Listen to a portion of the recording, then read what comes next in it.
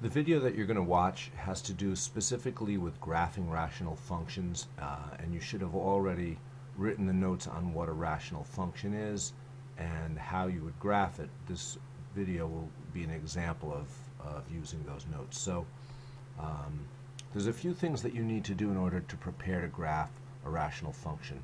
You need to find out if there's any discontinuity. That would be created by vertical asymptotes represented by VA, if there are any, and if there are any holes in the graph. Next, you need to see if there's a horizontal asymptote. There can only be one when graphing a rational function, if there are any at all. And also you need to find out if the graph is going to cross that horizontal asymptote or not. Um, something that you don't have to do, but is, I find to be a good policy, is to find out if there's a y-intercept and to find out if there's an x-intercept.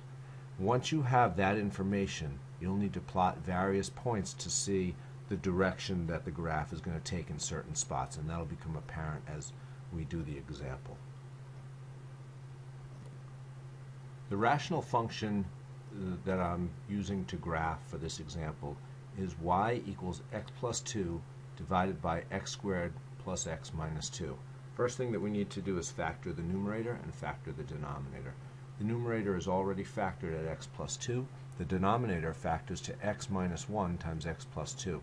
So the first thing I'm going to do see if there's any discontinuity with vertical asymptotes and or holes in the graph.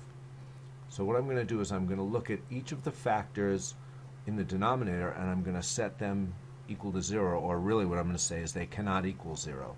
So x minus 1 cannot equal 0, and x plus 2 cannot equal 0. X minus 1 cannot equal 0. Add 1 to both sides so we know that x cannot equal 1. That means that there's a vertical asymptote at x equals 1. And then we know that x plus 2 cannot equal 0, so x cannot equal negative 2. But since there's also a factor of x plus 2 in the numerator, that factor can be divided by the numerator and the denominator. Some people call it canceled.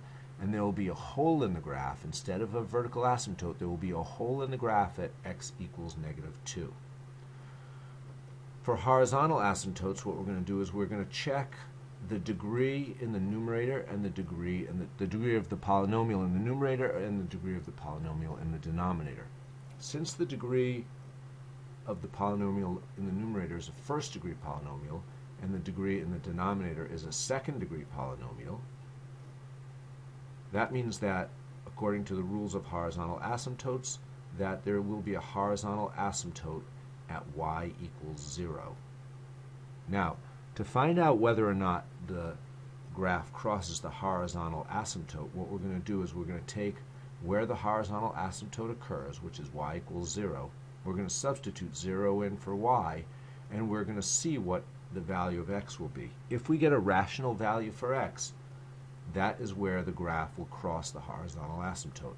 If we don't get a rational value for x, that means that the graph does not cross the horizontal asymptote. So let's substitute in 0 for x. I'm sorry, 0 for y. We get 0 equals x plus 2 divided by x minus 1 times x plus 2 we can divide x plus 2 in the numerator and the denominator, and we get 0 equals 1 divided by x minus 1. We can multiply the numerator and the denom I'm sorry, multiply the left and the right side by the denominator, which is x minus 1. X minus 1 on the left side times 0 equals 0, and 1 divided by x minus 1 multiplied by x minus 1 leaves us 1 on the right side. We end up with 0 equals 1. Since there's not a rational value for x, when we substitute in 0 for y, that means that the graph does not cross the horizontal asymptote, which is really helpful when graphing. Next, we're going to uh, look for an x-intercept. Since the horizontal asymptote is at y equals 0, there will not be an x-intercept. And we know that because the graph does not cross the x-axis.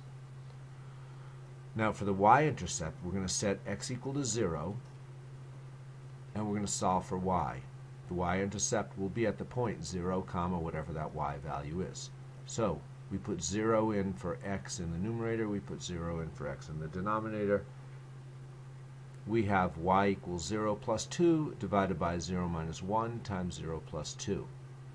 We get y equals 2 over negative 2, uh, so y equals negative 1. So the y-intercept will be at the point 0, negative 1.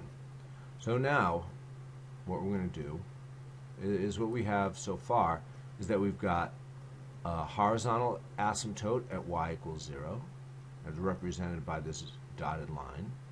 We've got a vertical asymptote at x equals 1, which is represented by this dotted line. We know that the graph is going to pass through the point 0, negative 1, which is the y-intercept. We also know that the graph is not going to cross the y, the horizontal asymptote, and graphs never cross vertical asymptotes. So we already have a, uh, some good information. We know that the graph is going to, as the graph becomes closer to the vertical asymptote, as we as x approaches the vertical asymptote, the graph is going to get closer but not touch the vertical asymptote. And since we know it can't cross the horizontal asymptote, the, the graph cannot go up, the graph must go down. We also know that as x becomes much smaller, becomes has more magnitude in the negative direction, we know that the graph is going to approach but not cross the horizontal asymptote. So it's going to do something like that. Now what we need to do is we need to plot a point to see what happens on this side. And remember, it'll approach the vertical asymptote as as y gets very large or as y gets very small or becomes more positive or becomes more negative. We also know that the graph is going to approach the horizontal asymptote as x gets very large, but we know it's not going to we also know it's not going to cross the x-axis. So, one of two things is going to happen. The graph is going to look like this, or the graph is going to look like this. We're not sure yet until we plot a point. And so the point that I'm going to choose to plot is going to be, since we have one to the left of the vertical asymptote, we're going to plot one to the right of the vertical asymptote. And we choose an x value that's to the right of the vertical asymptote. Since the vertical asymptote is at 1, I'm choosing the point 2 to substitute in for x to see what we get as a corresponding y value.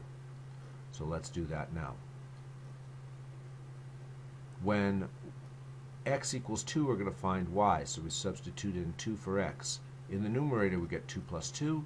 In the denominator, we get 2 minus 1, which is 1, times 2 plus 2, which is 4. The y equals 4 divided by 4, or more simply, y equals 1. That means we have the point 2, 1. So now we've got a lot more information just from that. We know that the graph passes through the point 2, 1. We know as x gets larger, it's going to approach that horizontal asymptote but not touch it or cross it. We know as x gets closer and closer to the right side of the vertical asymptote, it's the graph is going to get closer and closer, but not touch or cross the vertical asymptote. So part of the graph has that shape to it. And we know that there is a hole in the graph where x equals 2, I'm sorry, where x equals negative 2. We know the graph passes through the point uh, 0, negative 1, and we know it's going to have, as we discussed before, that shape right there. What I did was I did this up on a graphing program called Desmos Graphing Calculator, and I printed that up, so I'll put that up next, and, and we'll go through this again quickly.